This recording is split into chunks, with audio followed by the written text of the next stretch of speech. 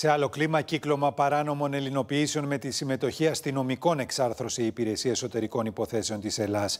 Η ταρήφα ήταν 15.000 ευρώ, ενώ οι διάλογοι των μελών του κυκλώματος, όπως καταγράφηκαν κατά την παρακολούθησή τους, είναι αποκαλυπτικοί του θράσους με το οποίο λειτουργούσαν. Κύκλωμα ελληνοποιήσεων έναντι 15.000 ευρώ με την συμμετοχή απόστρατου αστυνομικού και μιας αντιπαστινόμου που υπηρετεί σε τμήμα ασφαλείας στη Βόρεια Ελλάδα, εξάρθρωσε η Υπηρεσία Εσωτερικών Υποθέσεων της Ελλάδα.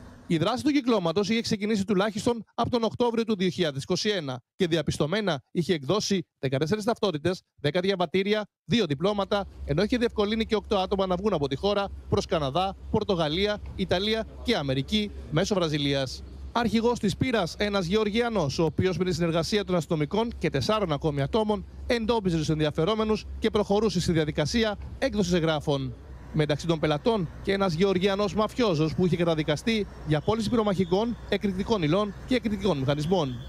Οι δράστες αναζητούσαν στοιχεία ατόμων που να προσωμιάζουν σε αυτά των πελατών και είτε να έχουν ελληνική ηθαγένεια, χωρίς όμως να έχουν εκδώσει ελληνική ταυτότητα, είτε να μένουν μόνιμα στο εξωτερικό, είτε να έχουν αποβιώσεις στο εξωτερικό, χωρίς να έχει δηλωθεί ο θάνατός τους στην Ελλάδα.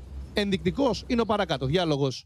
Πόσο χρονών είσαι, Ε, δεν θέλω για εμένα, για τον άνδρα μου θέλω. Για τον άντρα σου θέλεις; Για τον άνδρα μου, ναι, αυτός είναι 57 ετών. Μάλιστα, 57 λες, έτσι; 57 χρονών, ναι, ναι, κύριε Σάβα. Μπορείς να μου στείλεις μια φωτογραφία για να δω πώς είναι, αλλά μιλάς στο τηλέφωνο. Πάρε με στο Viber καλύτερα.